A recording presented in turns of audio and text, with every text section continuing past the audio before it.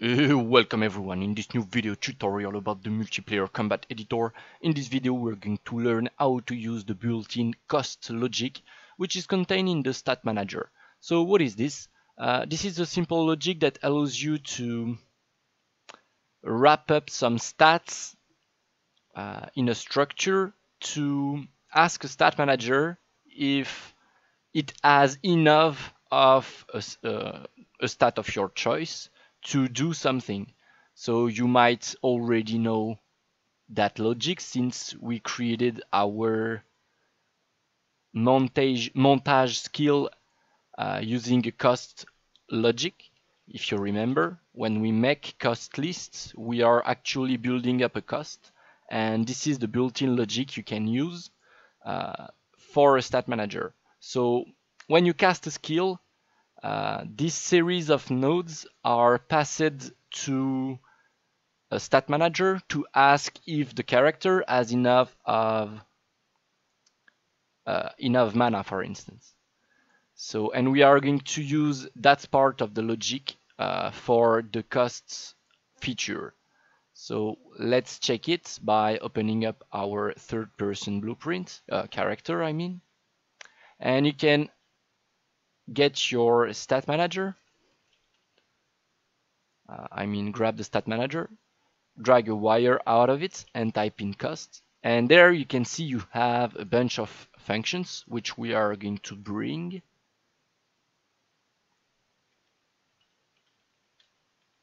Like that.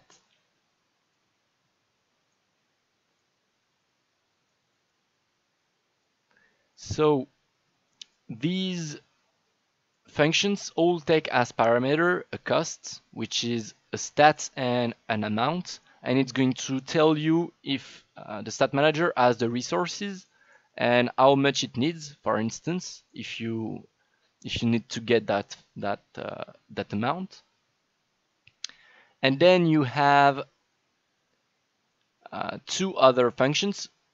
We're going to start with spend cost. This is the function used by skills they are calling spend costs uh, when they are when we consume the mana. They are calling spend cost on the stat manager of the player. And the spend ra ratio is how much uh, it should be one by default. And this is how much of that amount of costs you want to spend on the stat. So, and this is for mitigating reason. Maybe you want only to spend half the mana cost and in, in that case you could be saying I want to spend these costs, I want to spend 0.5 value of these costs, of the costs you passed as parameter there. And how do you pass cost as parameter there? The same way we built our cost logic in the montage skill like this.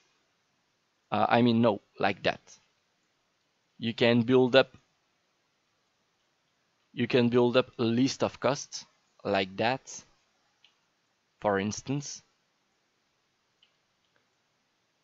and restore them and spend 0.5 percent uh, point mm, multiply that value by 0.5 it's going to spend that amount of value in the in this stat and it's going to be the same for restore cost. It's going to increase the stats by the recovery by the, the amount of the cost multiplied by the recovery ratio.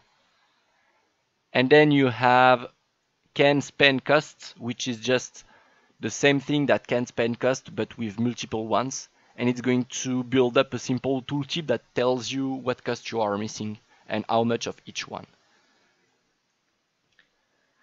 And we can see an example of the function restore costs in one of the passive skill uh, we built in the examples. You can go there, skills, prefab, passive, ammo efficiency. This says when this says when we set up the passive effects, we are adding, uh, we are listening to the on kill events. So when the owner of the passive skill kills something, we are getting his weapon skill manager.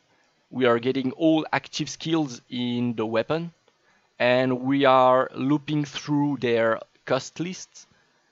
And if the costs are consuming stats on the weapon, we are actually getting that cost, these costs, and we are actually restoring the mm, the costs multiplied by 10 in each uh, stat. So how can you use this, for instance, there? Well, for instance, you could be creating a gold stat and ask can spend costs when you want to buy something. You would say instead of armor there it will be gold and you would say do you have 20 gold? For instance, it will it will say yes or no or how much you you miss you are missing. But most of the time it's used for uh, skills in the built-in examples because it's uh, it's built for them pr primarily. So, but you can you can find creative use of that feature. So it's going to wrap up the video. Hope you guys enjoyed it and hope to see you in the next one. Bye bye.